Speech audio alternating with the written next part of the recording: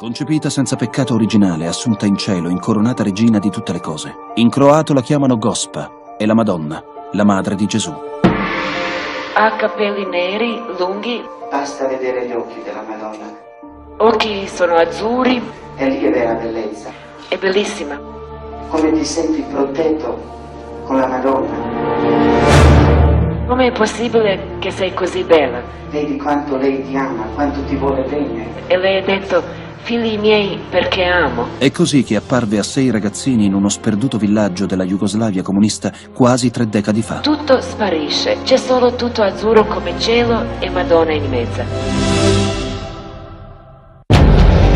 O l'evento più straordinario nella storia del cristianesimo, dopo ovviamente la risurrezione di Cristo, E lei non tocca mai terra, ha sempre vestito grigio con velo bianco. oppure la truffa più colossale mai avvenuta in questi duemila anni di storia. I veggenti sono stati studiati, esaminati, analizzati. Le estasi sviscerate con le tecnologie più sofisticate. Esiste analgesia completa nei ragazzi veggenti durante l'estasi. Specialisti credenti e atei di fede cattolica o convinzioni marxiste si sono avvicendati nello studio del mistero di Medjugorje. Il loro verdetto è unanime. Si esclude la finzione e la frode. Le estasi sono tutt'altro che terminate. Dieci segreti attendono di essere svelati. Il terzo sarà un segno. Le implicazioni nell'immediato futuro si annunciano sconvolgenti su scala planetaria. Poi arriveranno invece altri sette segreti, probabilmente saranno abbastanza terrificanti, catastrofici. Se davvero la Santa Vergine di Nazareth ci sta accompagnando così a lungo e così intensamente attraverso il passaggio tra due millenni, da cosa vuol metterci in guardia? E quali rimedi è venuta a portare? Cari figli, con la vostra preghiera e con il digiuno potete perfino fermare le vermi. Gesù allora, vedendo la madre, lì accanto a lei il discepolo che egli amava, disse alla madre, Donna, ecco il tuo figlio. Cari figli, vi invito a riflettere sul vostro futuro. Poi disse al discepolo, ecco la tua madre. Voi state creando un mondo senza Dio solamente con le vostre forze. Ed è per questo che non siete contenti e non avete la gioia nel cuore. E da quel momento il discepolo la prese nella sua casa. Questo tempo è il mio tempo, perciò figlioli vi invito di nuovo a pregare. Medjugorje, frazione del comune di Citluk, provincia di Mostar, Jugoslavia. È il 24 giugno 1981, festa di San Giovanni Battista. Nell'aria aleggia il profumo delle piantagioni di tabacco. Gli adulti riposano, i giovani giocano a pallone, ma alle 17 circa le strade si svuotano e tutti rientrano nelle loro case. Su uno dei due canali che il regime comunista mette a disposizione sta per iniziare un atteso match di basket tra due squadre locali. Io, eh, come tutti altri, guardavo una partita di pallacanestro. Nessuno vuole perdersi la partita, ma alcuni ragazzini rimangono in giro per strada. E Ivanka e io siamo uscite fuori di paese per stare un po' da sole, per parlare di cose normali da che possono parlare ragazze da 16 e 15 anni. Sono stanche. Si siedono su una roccia ai piedi del colle Podbrodo, nel soleggiato pomeriggio estivo. Ci siamo messe sotto la collina. In un momento Ivanka mi ha detto, io penso che Madonna sulla collina. I bambini non avevano praticamente conoscenza delle altre apparizioni mariane, essendo vissuti sempre in uno Stato comunista che non permetteva il racconto di queste eh, vicende del passato. Uno scherzo di cattivo gusto per Miriam, che rifiuta di voltarsi in direzione della collina e fa per andarsene. Ma quando ero vicino a prime case ho sentito dentro di me come una chia- chiamata per tornare sotto la collina. Chiamata era così forte che io sono tornata e io ho visto in mezzo di sassi eh, una signora in un vestito lungo come tiene un bambino in braccio. Praticamente si può dire che per la Madonna è una consuetudine scegliere dei bambini come veggenti. È capitato in quasi tutte le occasioni di questi ultimi due secoli. Ricordiamo per esempio Bernadette a Lourdes, oppure i tre pastorelli a Fatima, oppure Melania e Massimino alla Salette. Le ragazze restano sbalordite, confuse, frastornate. Nessuno sale mai su quel monte sassoso pieno di cespugli e rovi. Figurarsi una donna con una lunga veste e un bambino in braccio. Io tutte le emozioni che esistevano io li sentivo in quei momenti. Eh, non sapevo o sono viva o morta o non capivo cosa mi succede. Non potevo nemmeno sognare che questo potesse accadere, cioè che la Madonna può apparire. Non ho mai apprezzato le apparizioni non sapevo neanche che Madonna poteva apparire qualcuno i bambini sono molto più disponibili ad accogliere qualcosa di straordinario che non si aspetterebbero senza pregiudizi. La loro testimonianza ingenua, talvolta anche fatta con difficoltà, diventa autorevole nel momento in cui ci si rende conto che non possono aver inventato qualcosa che in realtà non conoscevano. In quegli interminabili minuti sopraggiungono altri quattro ragazzi, due maschi e due femmine. Al cospetto di quella visione, colti da una fortissima emozione, uno dopo l'altro si danno alla fuga. La notte è lunga e inquieta. I loro racconti destano la preoccupazione di genitori e parenti. C'è chi gli consiglia di non scherzare con le cose sacre e di lasciare la Madonna in cielo.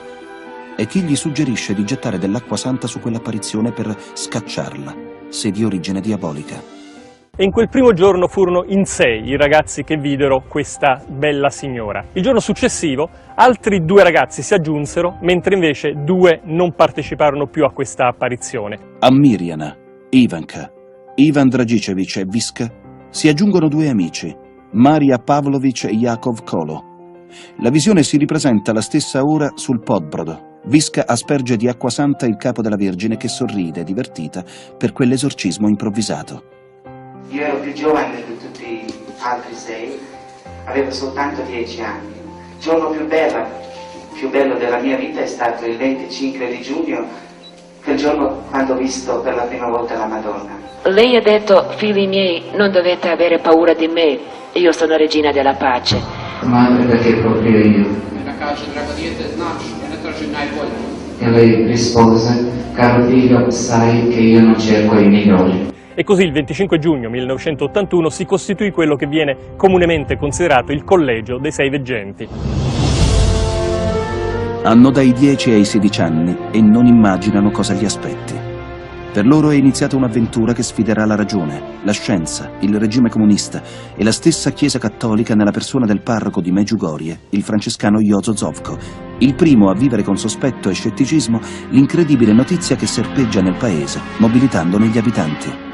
Io non credo, cari miei, non andate sulla montagna, andate a casa per continuare a pregare che il Signore ci aiuta. Temette che fosse una macchinazione del regime per screditare la Chiesa cattolica e quindi nei primi giorni non credeva a quello che stava succedendo. Il decimo giorno si trovava in chiesa e all'improvviso sentì una voce, una voce nel cuore. Vai e salva i ragazzi. Si alzò, andò alla porta della chiesa, la aprì e improvvisamente entrarono tutti i sei bambini che stavano fuggendo perché i poliziotti li inseguivano. Fu il momento fondamentale del suo cambiamento d'opinione, fu il momento in cui capì che stava avvenendo realmente qualcosa di soprannaturale, qualcosa che era legato all'apparizione di Maria. La notizia supera i confini del paese. Migliaia di persone accorrono a Meggiugorie. Osservano con sgomento quei sei ragazzini che corrono come fulmini sulle rocce aguzze del monte Podbrodo verso qualcosa che li attrae irresistibilmente. Cercano dei segni, delle prove, che non tardano ad arrivare. A questi primi giorni Madonna ha fatto vedere tanti segni che così quasi tutti di Podbrodo hanno visto qualche cosa e ci hanno creduto e ci aiutavano. Uno di questi segni visibili a tutti ha interessato il Crisevaz, monte sovrastato da una massiccia croce di cemento eretta per devozione nel 1933. Montagna della croce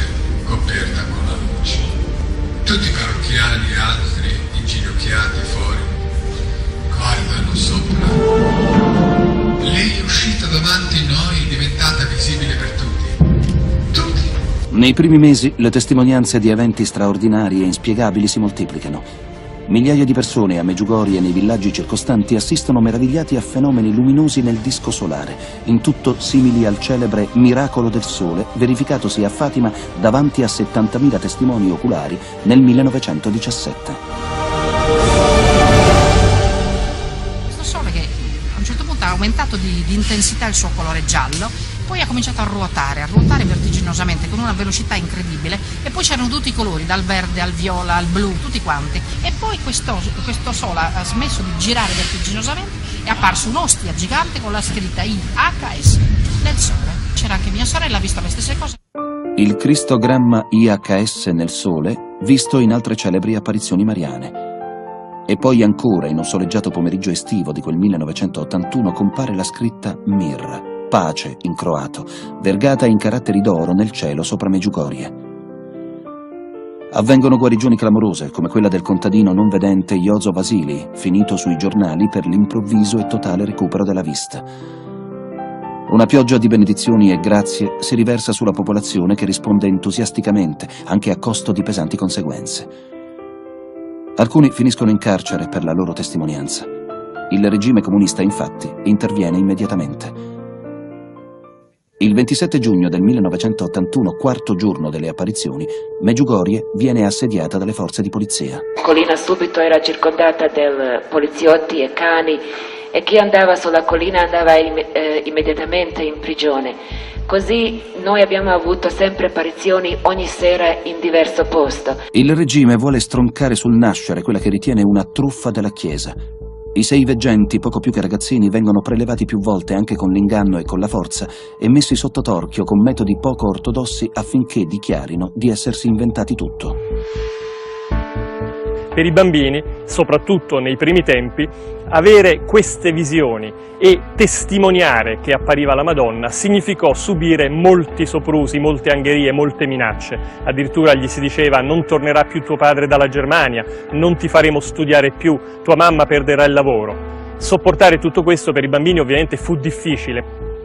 Ricatti, minacce e visite mediche non danno i risultati sperati. I veggenti risultano completamente sani, lucidi, estranei all'uso di alcol, farmaci o droghe, disposti ad affrontare ogni conseguenza in nome dell'evento di cui sono testimoni. Dovunque si trovino intorno alle 18 l'estasi si impone ai loro sensi, anche in presenza della Polizia di Stato. La loro testimonianza possiede una forza sconvolgente, impensabile per dei ragazzini della loro età. Dottoressa gridava bambini,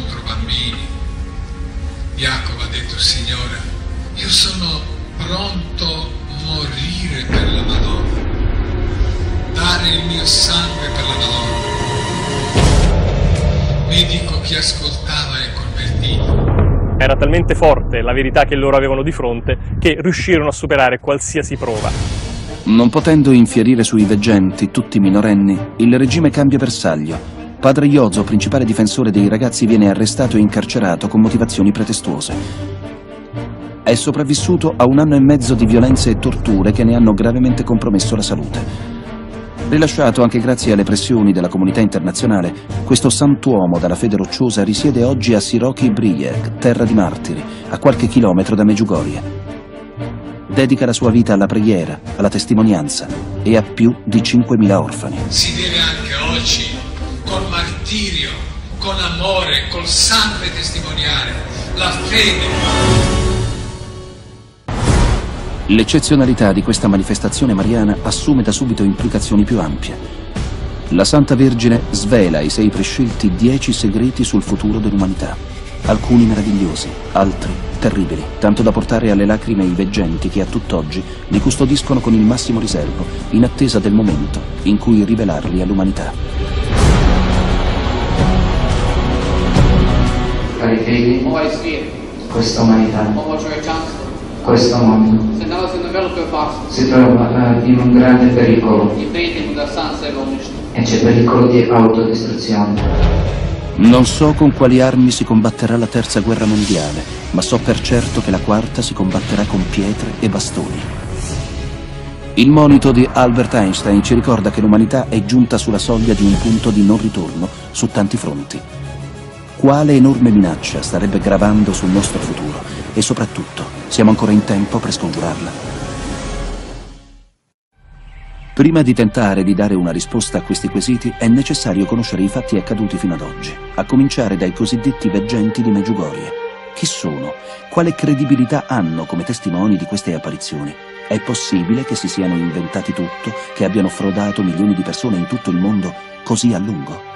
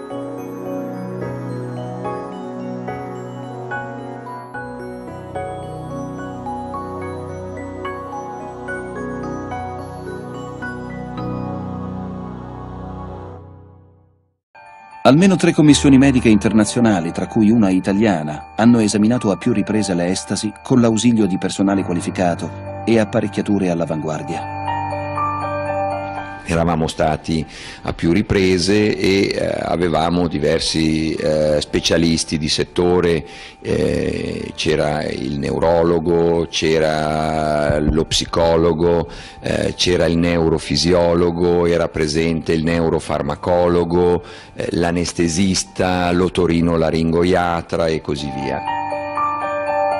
Il primo parametro osservato e misurato è la simultaneità fissare tutti insieme una emittente a noi ignota, eh, però eh, simultaneamente da loro percepita e alla fine di questo fenomeno eh, l'elettroculogramma con una discrepanza di pochi millesimi di secondo dimostrava questa simultaneità. Quando l'estasi è inizio i veggenti cadono in ginocchio nello stesso istante. I movimenti dei loro globi oculari cessano, gli sguardi convergono contemporaneamente verso uno stesso punto, la chiusura delle palpebre diminuisce fin quasi a cessare del tutto. La loro voce scompare improvvisamente e simultaneamente.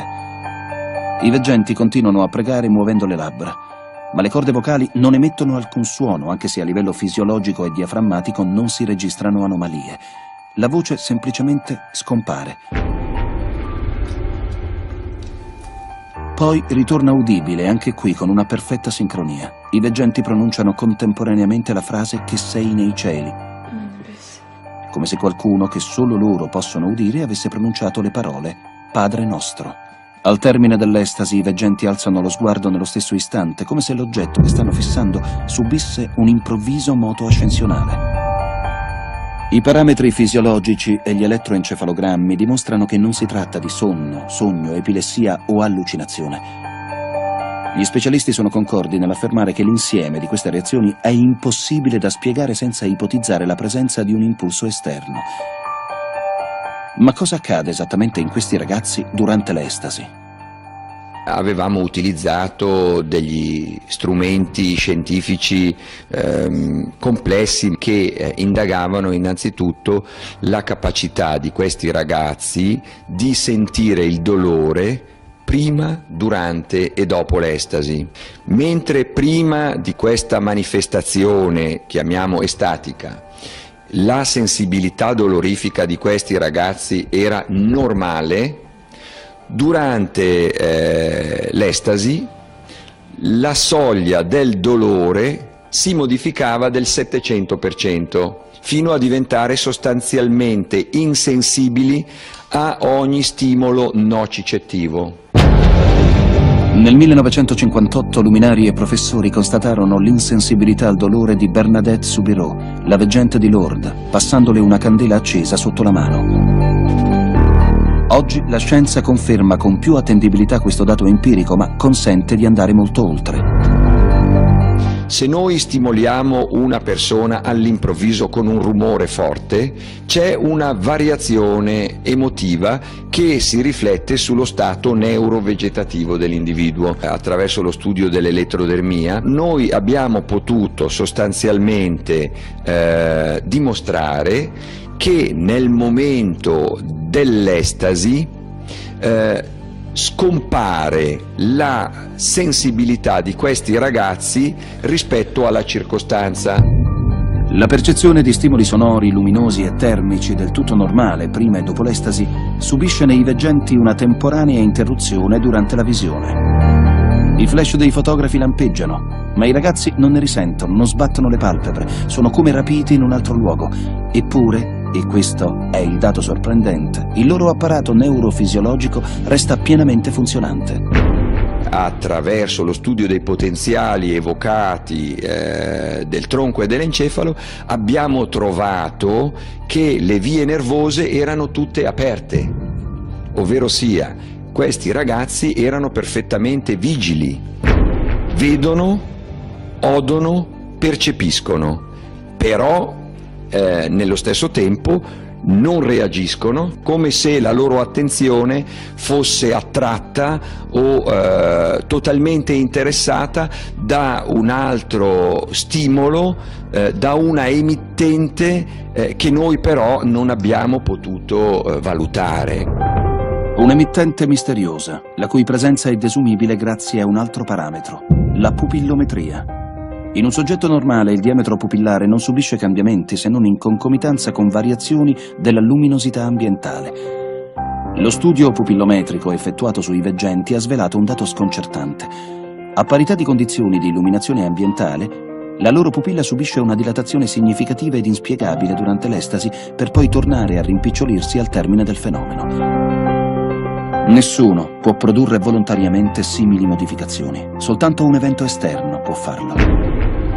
Noi medici eh, non siamo stati in grado di dare una spiegazione scientifica a questo fenomeno. Non c'è frode, non c'è inganno, non c'è simulazione i ragazzi stanno vivendo effettivamente qualcosa di straordinario, qualcosa che non è voluto da loro, qualcosa che arriva dall'esterno e che si impone su di loro, sulla loro volontà, su quello che stanno facendo.